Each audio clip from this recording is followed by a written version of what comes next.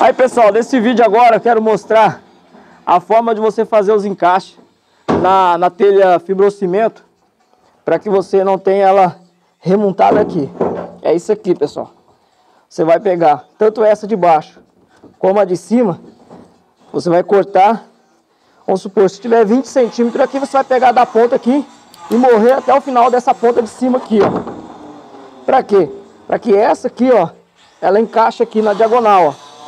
Tá certo? Do jeito que tá aqui, ó. A hora que a gente for parafusar esse aqui, ela vai encaixar perfeitamente aqui, ó. Então é esse encaixe que a gente precisa.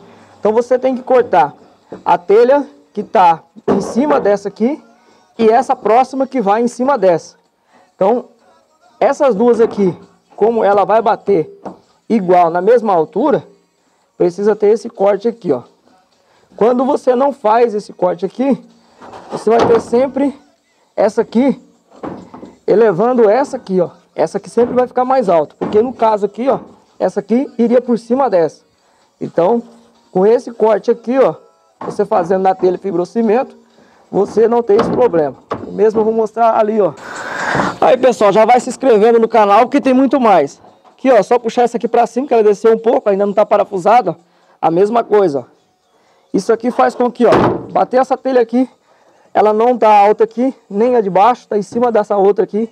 E a de cima a mesma coisa. Então, todas as emendas de telha de sobrepor uma sobre a outra, você tem que fazer esse corte aqui, ó. Nessas duas peças, nessa e nessa.